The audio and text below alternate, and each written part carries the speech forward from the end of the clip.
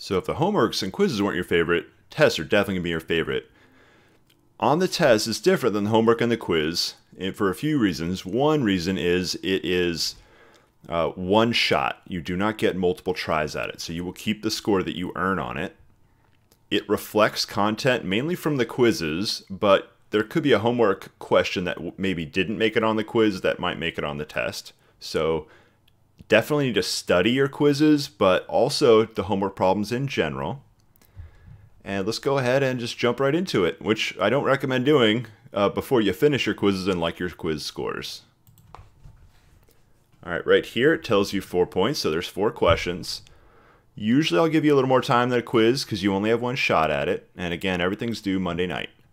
And let's see, you got one attempt at this test. So that's super, super important.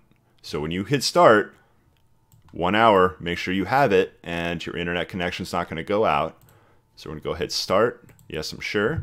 It's going to look a lot like a quiz did, except the rules are a little different because you no longer have multiple attempts. So this first shot is super important. All right, good luck on your test.